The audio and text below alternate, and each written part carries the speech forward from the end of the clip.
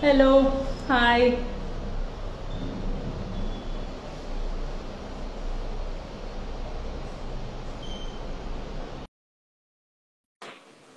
Hi, Vani. Hi.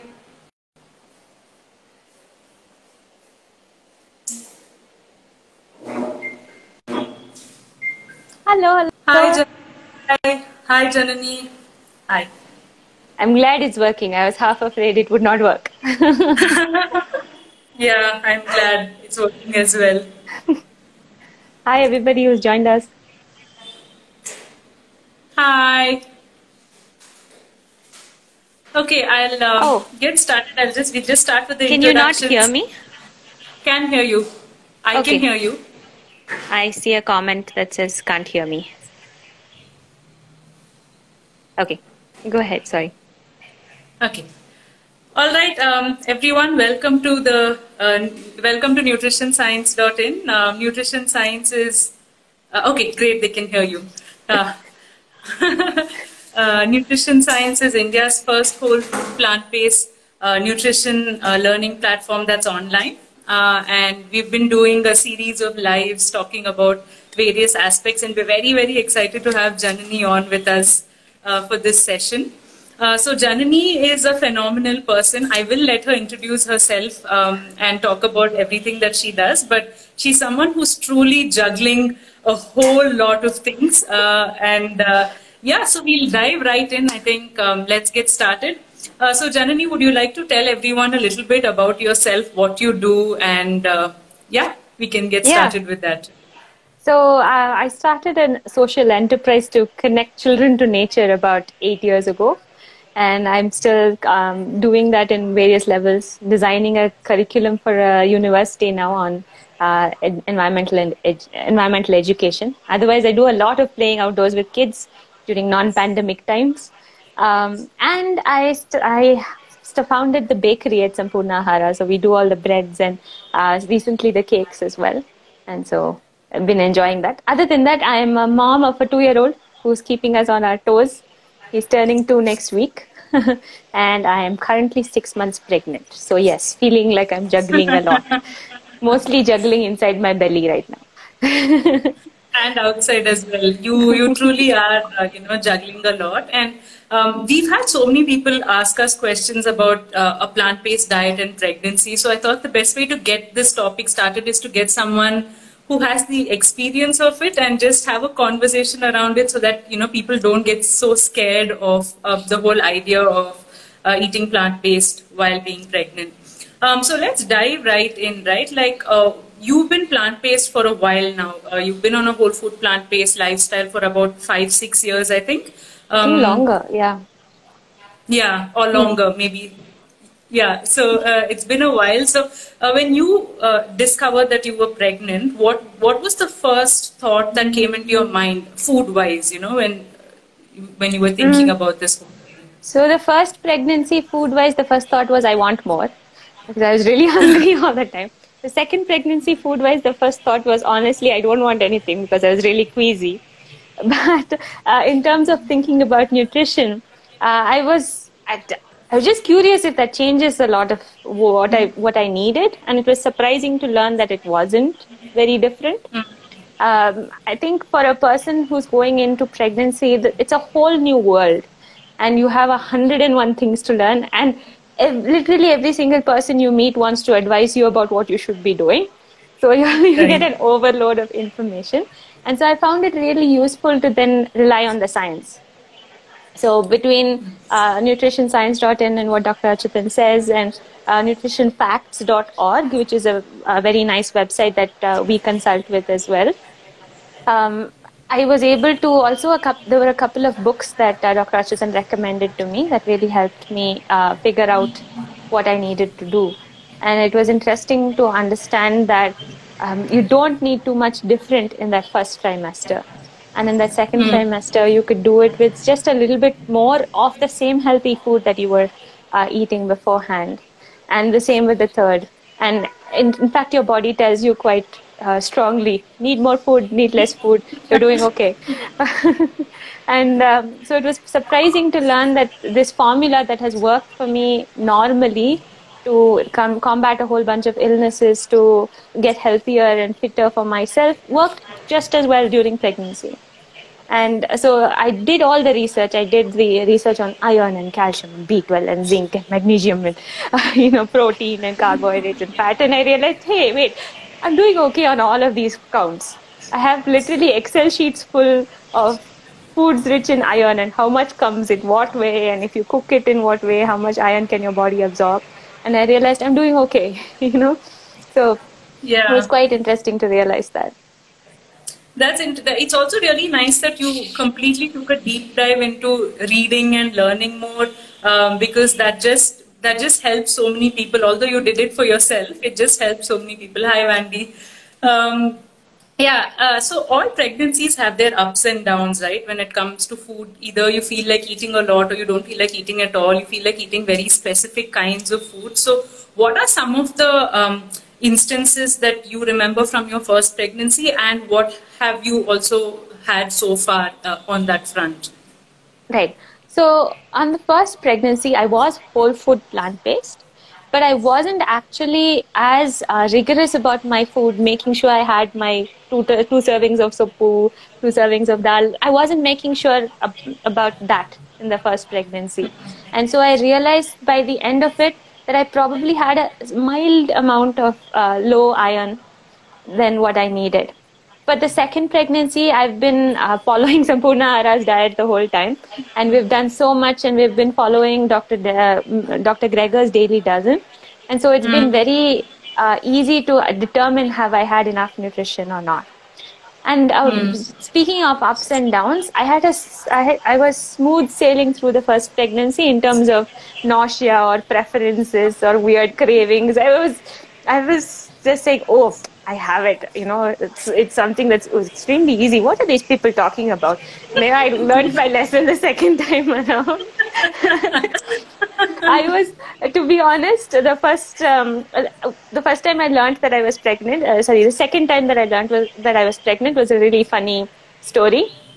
I thought I had a stomach bug because I was feeling odd and feeling queasy and not feeling like eating, and uh, would I was throwing up. So I thought my stomach was uh, ill, and like we do when we fall ill, I was fasting.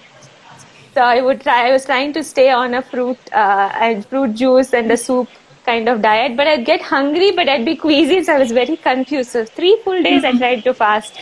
Then I was like, maybe I should do a pregnancy test, and then I realized I was pregnant. And so it took me 17 weeks, the second pregnancy, to get over my queasiness, and I had to Wow. really be aware of nutrition uh, during that time because then I couldn't eat my sopu every day. I couldn't eat my uh, various things that you know I felt comfortable would nourish me and my body every day. So I really had to make uh, go back to those Excel sheets and consult them and see if there is something I can do and some way in which I can figure out cooking. And then I had to get somebody else to cook for me because I couldn't cook myself and the smells were too too strong. Um, then after 17 weeks, I've turned around and it's been uh, good to enjoy food again. So Nice. that's been nice, That must be a relief also. very much. Um, the other thing that also a lot of people, I'm sure they're thinking, what about cravings, right? Like when you're pregnant, you have a lot of very specific cravings, and when you are eating a healthy whole food plant-based diet, these things are not as easily available or readily available. And as you just mentioned, it's also hard for you to personally go and make them each time. So, uh, what has been some of your cravings both last time and this time, and how have you worked around them? How have you managed to uh, get everything that you need? So um, I actually have a bunch of tips that I've uh, sort of noted down in my head for this.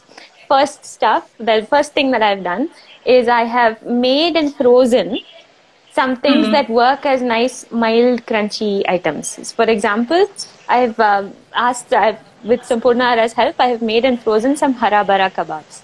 So it has mm-hmm. some lentils, some a little bit of potato, lots of spinach, and we've mm-hmm. basically shaped it into little patties and I've frozen it.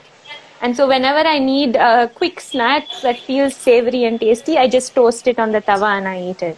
And it tastes really nice for me. Uh, then I found that I really wanted ketchup.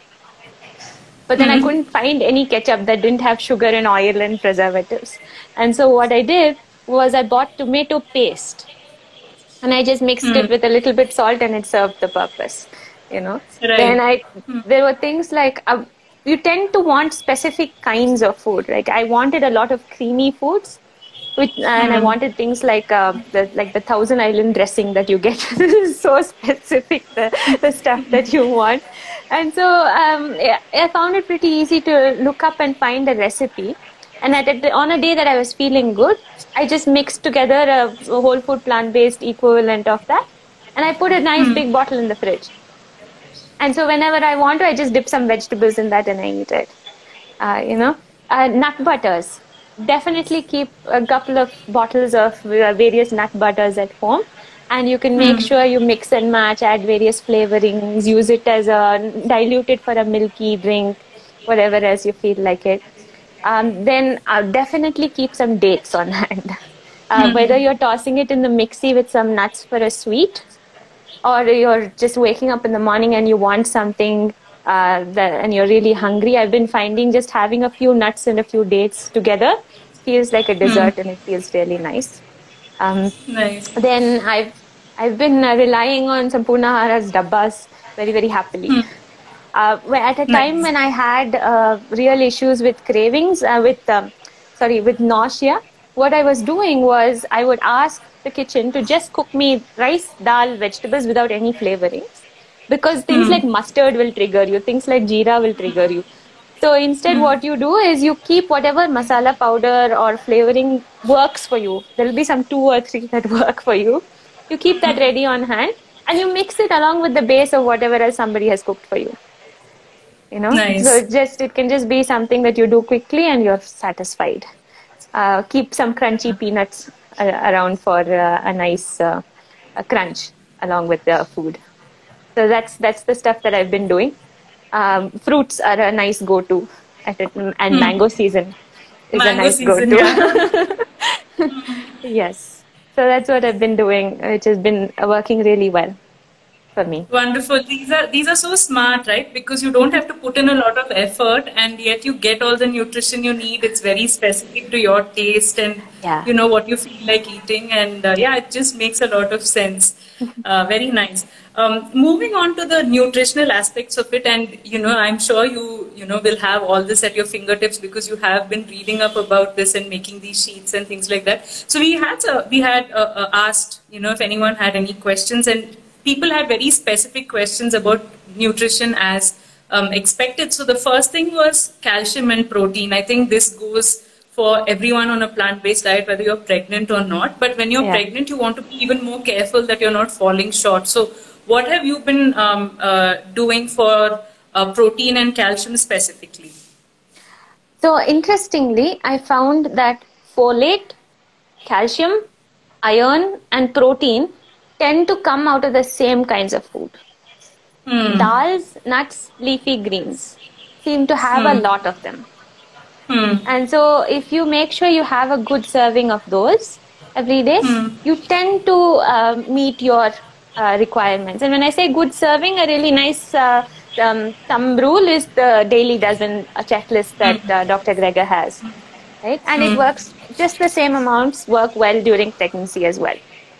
So if you make sure you have um, soy seems to be highly nutritious. So just whole soybeans, whether you're making sundal out of it, like just usli kind of uh, cooked things, or uh, you're using it in dosa batter, which is something that I do a lot of.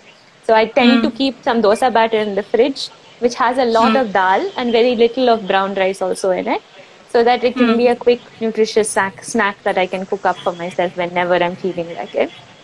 Um, then making sure that in your spinach you have a little bit of lemon um, increases iron absorption right Nice. um, calcium interestingly the research that i've read i'm not a doctor um, and i'd really encourage you to uh, read up this, uh, this research on nutritionfacts.org as well the research that i read was no matter how much calcium or supplementation you do during pregnancy your body will always take calcium from your bones Mm. and it will replenish the calcium after your pregnancy is done. as through absorption in your diet. And so make sure you have a healthy amount, keep a good amount of tofu and soy and protein and, and dal, whole complex dals and nuts in your diet. Uh, but don't worry too much about your calcium uh, absorption. Nice. That's really interesting. That also, you know, kind of goes to show why you should start eating healthy as early as possible. Definitely. You know, so that. Hmm. Starting with a good store is a good idea for pregnancy. Yeah. Yes. Yeah. That's uh, yeah. You also answered the next question that I had, which was about uh, folates and iron, which were uh, which was another question. I have a point to add about iron, which has been really like something amazing for me to learn. Just having one teaspoon of jeera in your diet um, eh, apparently increases your iron availability in the body by like one, um, I forget the unit, mg, I'm guessing, right? Um, and you probably need something like 8 to 12, I think, is what you need when you're lactating, not pregnancy. I forget the pregnancy requirement. But just so imagine just being able to eat 8 teaspoons of jeera and you'd be like, my iron requirement is met for the day. That's, that's crazy. yeah. So that's Yeah. one thing to add about iron. Uh, and then back to you. Nice. That's really interesting. I'm sure these kind of little things, you know, will be really helpful because you're constantly looking, okay, which is the richest source? What should I do? And things like that. Nice. Um, so the other, uh, again, nutrient that people were uh, extremely concerned about um, is B12, right? So vitamin B12, what has your experience been? I supplement for that. I have been from the beginning, um, and I supplement for it even now. Right now, it comes in the shape of the flaxseed laddu for me uh, from Sampoorna Ahara. Uh, but before Yeah. that, before the laddus were, the, were around, we used to have it in tablet form. Um, I, the doctors tend to recommend us. Um, there are various uh, amounts that are needed. I wouldn't, um, uh, depending on age, I think. Otherwise, I think it's 70 mcg per day or 2000 per week is what you need, uh, from what I remember. Uh, On a whole food plant based diet, when you're not interacting with soil and getting good microbes around you, when you're sitting in a city with traffic zooming past, supplement, please. Yeah. That's Wonderful. I think the yeah, answer. the flaxseed laddus have really helped everyone. I think you know, uh, for all of us, it's also been the most steady way of ensuring that we're meeting our B12 requirements. Otherwise, you you, you simply forget to take the tablet sometimes. Yeah, and interestingly, having flaxseed as part of your B12 laddu also helps you helps your body produce DHA, which is another supplement that people recommend during pregnancy. I'm uh, yeah. not saying don't eat the supplement. I I think an algal source of DHA is quite healthy if you'd like to go ahead for that. But um, having your two flaxseed laddus a day helps you meet your DHA requirements as well for pregnancy. Right, and the flax seeds need to be ground up when you're having them. If you have them uh, entirely, the hull is too strong to get dig- digested, and you just Right. poop it up just as a add-on for people Yeah. who are trying. Yeah. yes, yes. Please uh, powder them and use them in whatever form works for you. Hmm. So when it comes to nutrition, right, like overall nutrition, did you face any challenges? Uh, you know, since you you've broken it down so well, did you face any challenges? Did you have to like um, look at something and say, oh, you know, I must remember to have some of this, or I must remember to have some of that, just on an overall nutrition perspective? I'm sure with the calorie intake, your body takes care of it because you're Yeah. constantly hungry. But just uh, just so that you're eating the right things. So um, keeping the, the daily dozen checklist handy is very very useful, and integrating it in ways that don't seem like a bother to you, like that harabara kebab and the dosa mavu for me is like really nice and easy and convenient, and it makes a lot of uh, my greens requirement or my dal requirement uh, for the day. And so something like that really helps. Doing one check at the beginning, one check every now and then to see are you doing okay on that level? Are you checking all your fruits and veg and uh, dal and uh, whole grain, those kinds of things? It does help, but I do think uh, once you have you know sort of made a plan and you've set it up and you're doing okay on that, you should worry a little bit less about it than, um, and instead uh, pay attention on a daily basis to water and not food, you know, and those kinds of things. Yeah. Yeah. Wonderful. Um, last question on the nutrition front. Um, a lot of people asked us about healthy fats, right? Um, uh, uh, there is a lot, there is uh, recommendations, and also you have people around you saying you must eat healthy fats, and also there is this mental perception that you need to eat for two, right? Like there is that uh, thing that people tell you. So, what has your experience been both in making sure that you're getting healthy fats? What have you been eating for that? And like, what about the whole eating for two idea? On the eating for two idea, honestly, I think by the end of it, you make me eat 1.25 or 1.3 or something like that, not more than that. Um, mm. And on the healthy fats front, I definitely include nuts in your diet, includes flax seeds and other kinds of seeds in your diet. It helps you uh, mm-hmm. absorb a lot of the fat uh, based nutrients. And on quantity, Daily Dozen checklist can tell you just how much you need. You don't mm. need too much more than that. Um, mm. And I, but I think pregnancy is one of those times when if you're craving something fatty, having mm. some fresh coconut, having some almonds, having some uh, cashew, or mixing in uh, cashew butter and water so that there's uh, like a glass of milk that you can drink or something like that, mm-hmm. really helps you satisfy the cravings healthily uh, in a in a nice fashion. And so, what I that's maybe one thing that I normally when I'm not pregnant I do keep mm. to a certain amount of nuts per day because you don't need more than that, and too much of healthy fats also can give you trouble. Um, mm. But uh, when I'm pregnant, I I tend to use the nuts as a way to satisfy those cravings, and I'm okay going a little bit more than the daily dozen checklist if that helps me stay happy and healthy. Otherwise, um, nice. I think one thing to note. I know we're on the nutrition science ID, but uh, by healthy fats, I mean whole nuts, nuts with fiber. Um, ideally, um, do not strain it. Don't take out the milk and uh, don't take out like coconut milk and throw away the fiber. Use the fiber mm. along with the nut. Don't. No, I'm not talking about extra virgin oil. I'm just talking about whole nuts. And I don't. That's um, that's been a good um, thumb rule for me. Nice. Uh, on that note, can you tell us a little bit about you know plant-based alternatives to butters and cheeses? Since when you talk about healthy fats, I don't think some people can imagine beyond. Oh my God, what do I eat? Do I just have to eat nuts raw? And since uh, you know you not only have been eating them but also making them, so do you want to talk a little bit about uh, what are the various options um, available and where they can get them as well? Yeah. So um, there are just basically two ways that you would use nuts, right? You'd use it whole um, or in pieces, and you'd use it ground up, which is butter or, or milk or a spread or a, a creamy kind of situation. Um, there are some most there's some nuts that are better for some applications than others. For example, if you're hmm. trying to replace milk, cashew is the mm. closest that comes to the level of creaminess. Um, mm. Coconut has a strong taste um, and mm. it's hmm. not the healthiest of nuts. Um, almond has a um, almond butter can replace the feeling of ghee quite nicely inside mm. dishes. So if you're having, if you want to add ghee to a dal or something like that, just adding a similar amount of almond butter can feel really nice.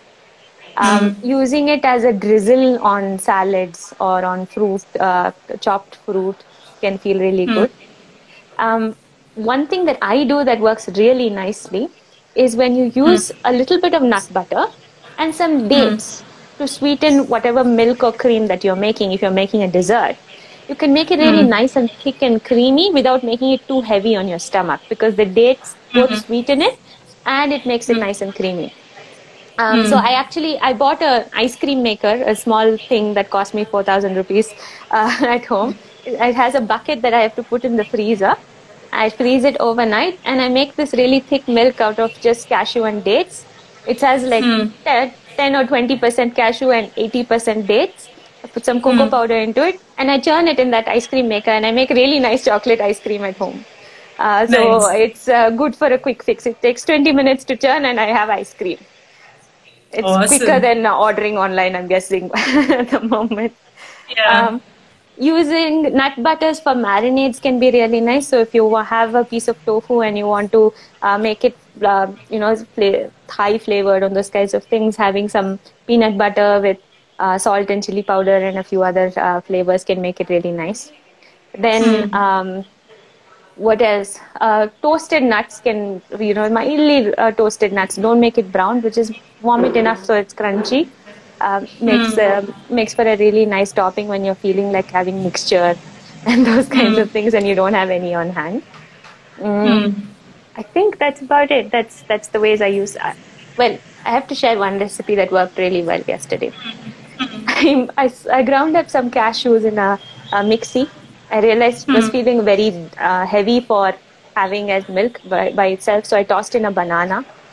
I ground it up with some water added some yelaka mm. and I made myself paisam. It was nice. really nice. nice. Quick, uh, two minute paisam. Two minute paisam. Very nice. Uh, that's great. That I'm I'm sure this is going to be helpful to everyone, whether they are pregnant or not. You know, like all of this sounds delicious, and who wouldn't want to uh, uh, replace their cu- current junk with these kind of healthy treats?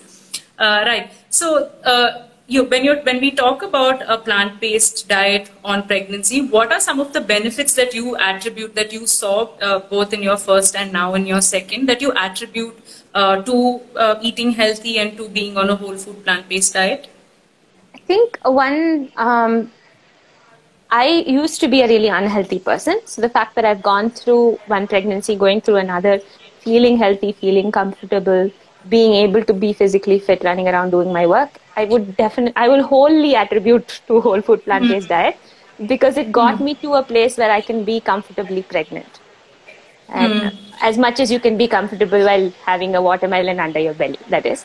Uh, the other uh, thing that I want to point out is I was diagnosed with PCOS before shifting to a whole food plant based diet. I was able to reverse that diagnosis. I don't know if I would be pregnant if not on a whole food plant based diet. Mm. so that's that's a whole part of it as well.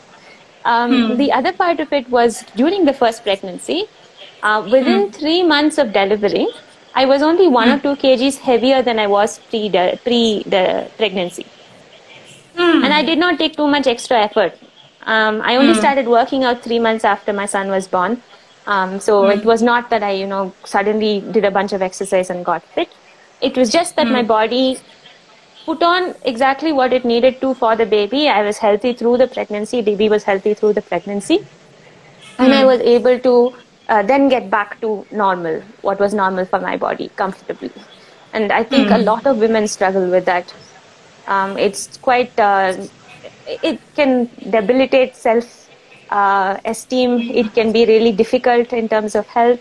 And so being able to you know just be comfortable in your body before and after and during the pregnancy was a real mm. boon and is a real boon to me now as well i don't mm. know if uh, i look any different here than i used mm. to hmm. before my pregnancy right yeah that's yeah. really uh, that's some that's an area where a lot of people struggle with you know putting on too much weight and then struggling to lose it and you then also not being able to enjoy your time yeah. um, simply because your body is not allowing you to do it. So uh, that I'm sure that is uh, encouraging for people to hear that it's not just possible, but also possible while eating a lot of your favorite foods, and possible while not, you know, going on a diet or severe calorie mm. restriction or anything like that. Um, so that's really nice. Um, so uh, there might be a lot of people who are on the fence, right, when it comes to this because it's such an important phase of your life. You don't want anything to go wrong. So what are like what are what are some of the things that you would tell people uh, who are on the fence and who want to uh, move to a plant-based diet and are pregnant? Uh, what are some of the things you would tell them, and what are some of the things that they should look out for as well? I I'm not a doctor, so these are not claims that I'm making. These are things that I've noticed from my experience of watching myself. And I think Shri Vibha, who's on the call at the, on the live at the moment, and my sister Aditi just delivered her baby, and a lot of friends I know who've been on a whole food plant based diet. Are, I feel like our bodies are healthier through the pregnancy.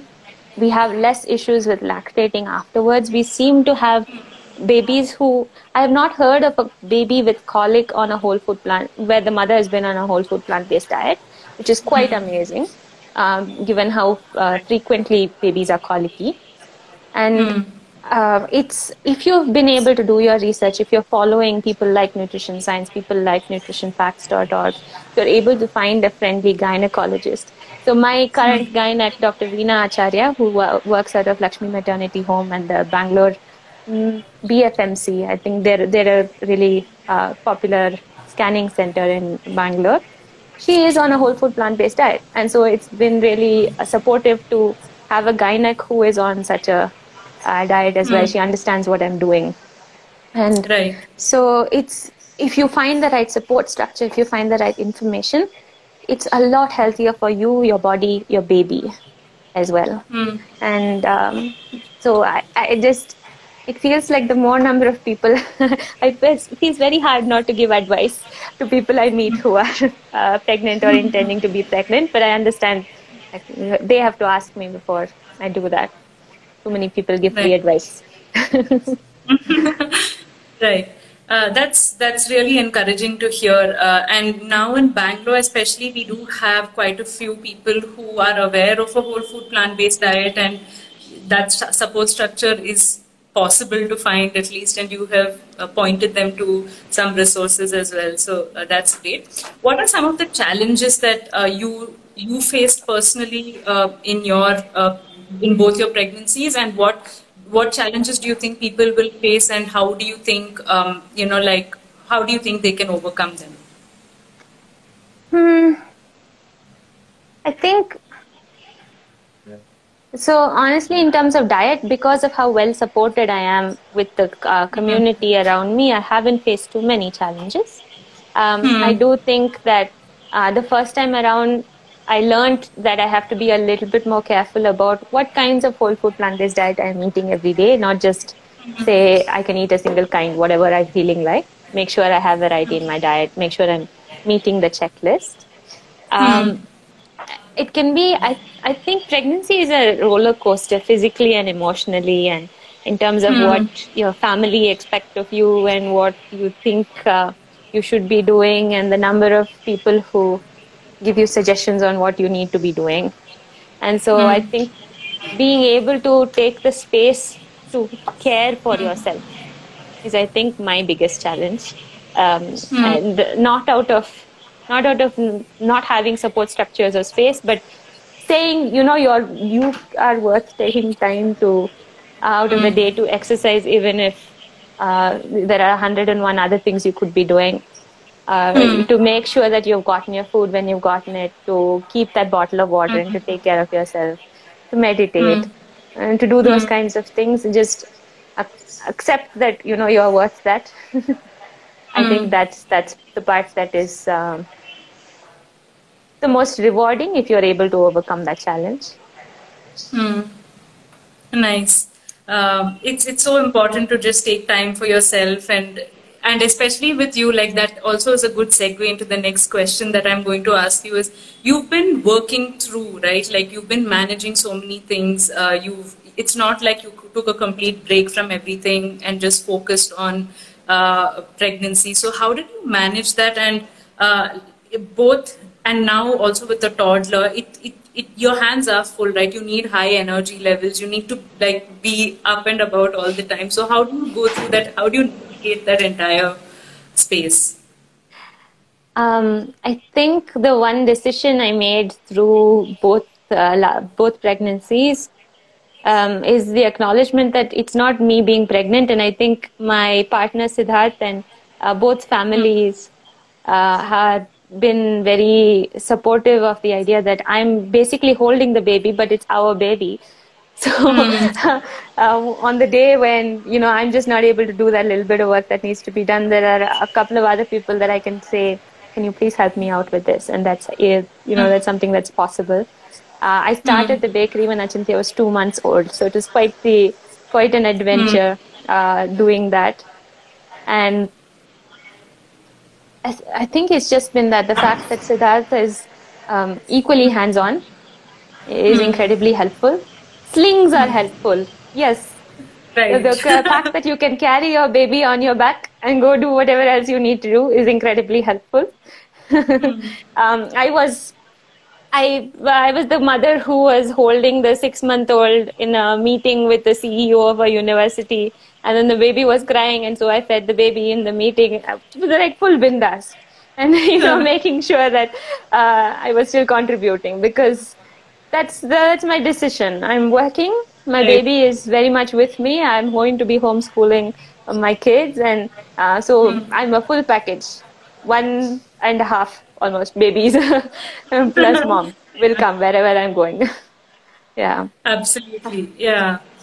That's uh, that's really incredible. You know that uh, not yes that the two of you have been parents together in this and not you know having just one person parent and the other person help out or anything like that. So I think that also, if there are any men listening, uh, it's something that uh, uh, we can all learn from. I think. Um, so. What what are uh, if someone is looking to move to a whole food plant based diet and uh, is looking for resources uh, what are some of the resources that you have found helpful uh, can you you know point them to that i know you've mentioned the daily dozen app um, Yeah. so like like that what are some of the resources that they should absolutely uh, get started with So I wish I had um, got taken the time to figure out what that book is called. Um, But I will actually take the time to do that and maybe add a comment at the bottom of this. There's this very nice book that details um, a, a whole food plant based diet through life, and they have a nice uh, set of chapters on pregnancy as well as lactation and weaning uh, the baby afterwards as well. So Nice. that that's that was a really nice resource, and it opened up a whole bunch of things. Um, Nutritionfacts.org has a series of videos and um, about pregnancy. The other thing that has been useful for me is to be able to find a doctor or a practitioner, both Dr. Achyuthan Eswar in my case, and somebody like Veena Acharya, for example, Dr. Veena Acharya, who to whom we can go with questions. I think that is important um, because, for example, in the second pregnancy, I have a, I've been diagnosed with a condition called uh, antiphospholipid syndrome. It causes microclots in uh, the placenta, and there is a medical treatment that I need to do to, you know, sort that out. And it's it's a simple enough fix, and I fixed it, and it's going well. But the point that I wanted to make is that each pregnancy is unique and there are just a hundred ways in which it goes differently. And while uh, uh, having a whole food plant based diet is a really nice platform on which to build a healthy pregnancy, it is useful to work with a midwife or a gynec or a care provider whom you trust, who's willing to uh, think through questions with you, weigh risks and benefits, and do a bit of research and uh, come back to you with information.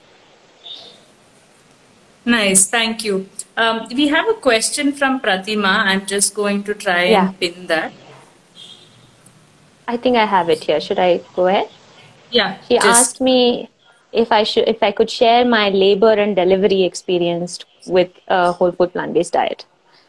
Hmm. It's this is interesting. I actually did not consider my diet having influenced my labor in any way before this.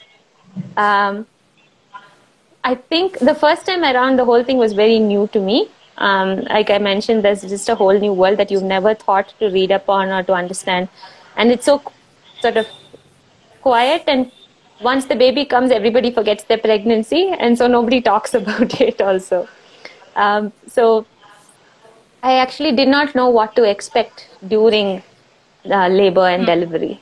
I think now that I know what to expect, I do want to do things a little differently. Um, It's interesting to be aware of what are uh, common practices that you may not want with your delivery. For example, some hospitals commonly administer an antibiotic immediately after your labor. I had that first time. Even though you didn't really need it, there's no symptom, there's no.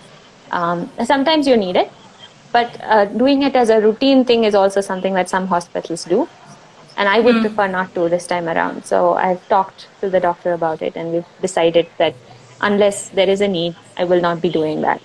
You know. Um, then the other thing that I think I did was I I read on the nutrition facts site that a lot of dates helps you uh, with dilation mm. of the cervix, and so I did eat a lot of that. But the thing I did was I went to a hospital a little too quickly before my labor mm. had progressed. I was still in early labor when I went.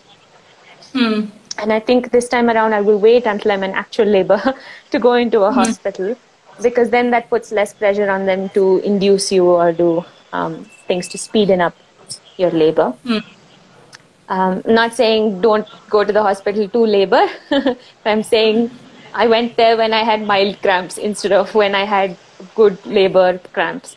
So mm. uh, that's that's something that I will change around this time around. But uh, actually, Pratima, I'm curious uh, from your experience how you feel like that in in that impacted your labor and delivery. Because honestly, until now, I did not think about how that could be connected. Yeah, we, we will have uh, Pratima on soon as well. Her story is super inspiring, and we've had so yeah. many people wanting to, uh, you know, interact with her and uh, talk to her about these things. So we will have her, and uh, Pratima can answer your question in uh, another live.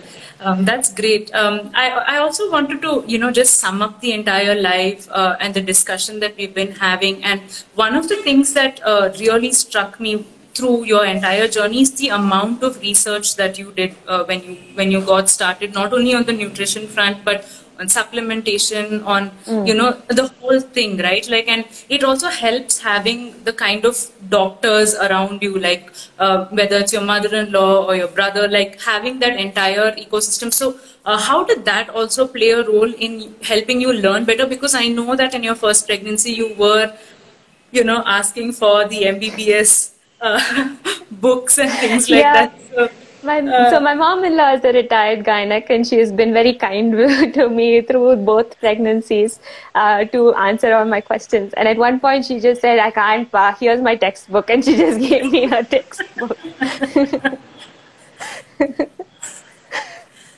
yeah, sorry. I interrupted you. Go on.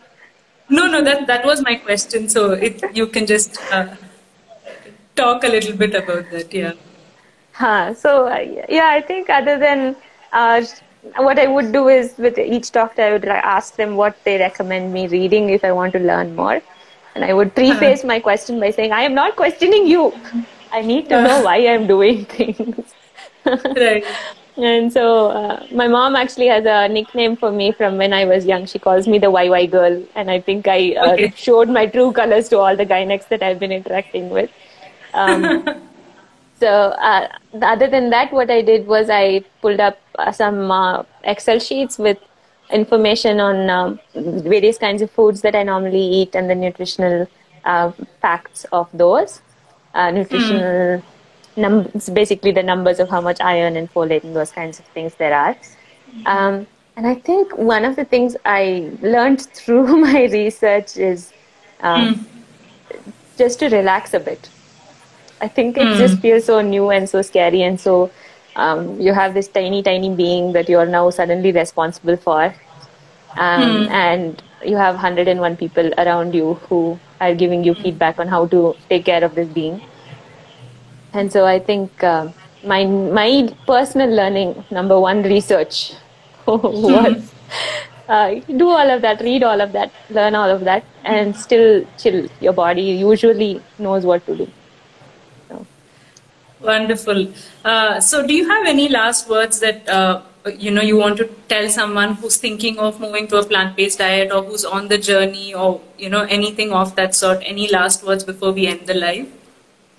It changed my life, so I'm I'm very mm. very glad for it, and I do hope it helps you as well. And I think mm. um, you.